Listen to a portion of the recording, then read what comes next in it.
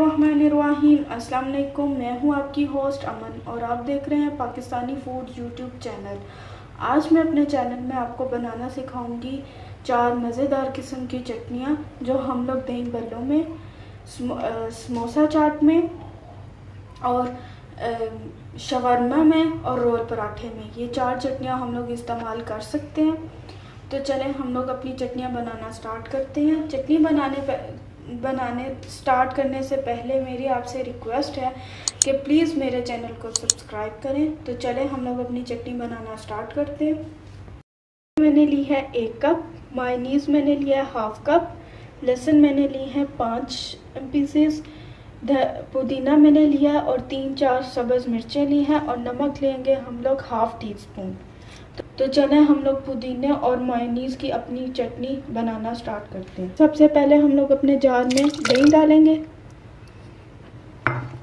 उसके बाद सब्ज़ मिर्चें, धनिया सॉरी, पुदीना और लहसुन, ये सारी चीज़ें डाल देंगे।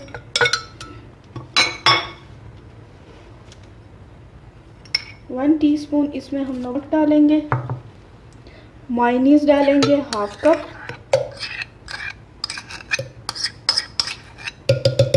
अब इसको हम लोग ब्लेंड कर देंगे तीन से चार मिनट में।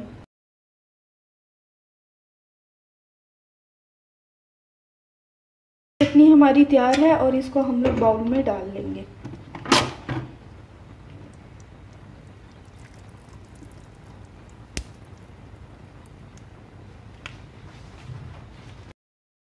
सेकंड चटनी के लिए हम लोगों को चाहिए सब्ज़ मिर्चें। हम लोगों ने ली हैं सात से आठ अदद।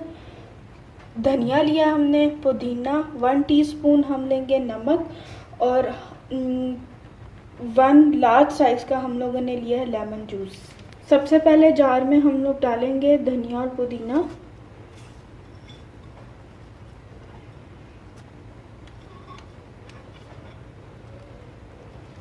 बस मिर्चें लेमन जूस टीस्पून हम इसमें डालेंगे नमक.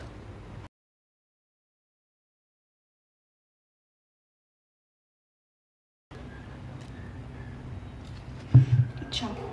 हमारी जार में हल्की हल्की धनिया, पुदीना और सब्ज़ मिर्चों की जो चटनी है, वो लगी हुई है। इससे जो अगली चटनी हम लोग बनाएँगे, इमली की चटनी, उसके लिए ये हम लोगों को ये मिक्सचर चाहिए होगा। क्योंकि वो खट्टी मीठी इमली की चटनी है तो उसके लिए हम लोगों को ये जो मिक्सचर है, ये चाहिए होगा। अब हम बनाएँगे खट्टी इमली की चटनी। उसके लिए हम लोगों ने इमली का पल्प लिया है हाफ़ कप दड़ा मिर्चें, यानी कि कुटी हुई साबुत, लाल मिर्चें ली हैं, हाफ़ टी स्पून धनिया हम लोगों ने लिया है सूखा धनिया जो नॉर्मल होता है, वो हम क्वार्टर टी स्पून नमक हम लोगों ने लिया हाफ़ टी स्पून और गरम मसाला पाउडर भी हमने लिया क्वार्टर टी स्पून में ऑलरेडी धनिया और पुदीने की चटनी मौजूद है और ये मतलब एक टेबल स्पून जो है ये चटनी यहाँ मौजूद है। इसमें हम डालेंगे इमली का पल और अपने तमाम मसाले। और इसमें तमाम मसाले हमने डाल दिया अब इसको अच्छी तरीके से हम लोग ब्लेंड कर देंगे। हमने अपनी चटनी को ब्लेंड कर दिया और इसको बाउल में डाल दिया। ये तीखी और, और जो है, खट्टी चटनी है। ये हमारी मीठी चटनी है।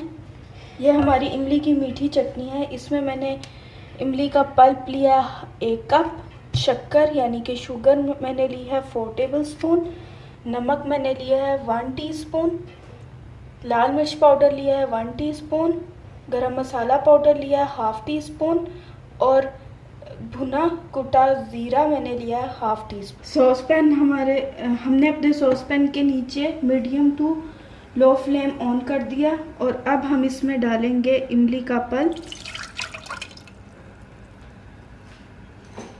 इमली के पल को हम लोग बॉयल मतलब गरम हो तीन से चार मिनट तक गरम होने देंगे।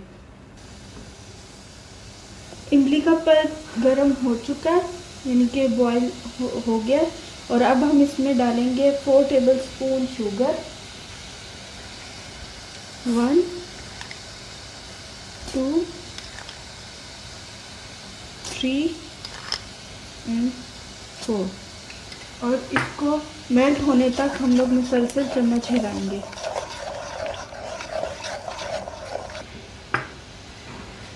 शुगर यानी कि शक्कर हमारी जो है वो मेल्ट हो चुकी है और अब हम इसमें डालेंगे अपने तमाम मसाले। मसाले हमने इसमें डाल दिया और अब हम इसमें डालेंगे हाफ़ कप पानी और इसको पकने के लिए तीन से चार मिनट के लिए रख देंगे। ये हाफ़ कप पानी मैंने इसमें डाल दिया और इसको अब हम लोग ढक के ढक के तीन से चार मिनट के लिए पकने के लिए रख देंगे। दो से तीन मिनट हो चुके हैं और हमारी जो चटनी है वो बिल्कुल रेडी है। और ये जब अभी तो गर्म है तो ये ऐसी है मतलब जब ये ठंडी होगी तो ये और भी थिक हो जाएगी। तो चलें, हम लोगों ने फ्लेम ऑफ़ कर दिया और अब इसको इसको पाँच से छः मिनट हम लोग ठंडा होने के लिए रखेंगे। तैयार है हमारी मज़ेदार किस्म की। चटनियाँ। अगर आपको मेरी ये रेसिपी अच्छी लगी है तो प्लीज़ मेरे चैनल को सब्सक्राइब करें लाइक करें शेयर करें और मुझे कमेंट सेक्शन पर ज़रूर बताइएगा कि आपको मेरी रेसिपी कैसी लगी। अल्लाह हाफिज़।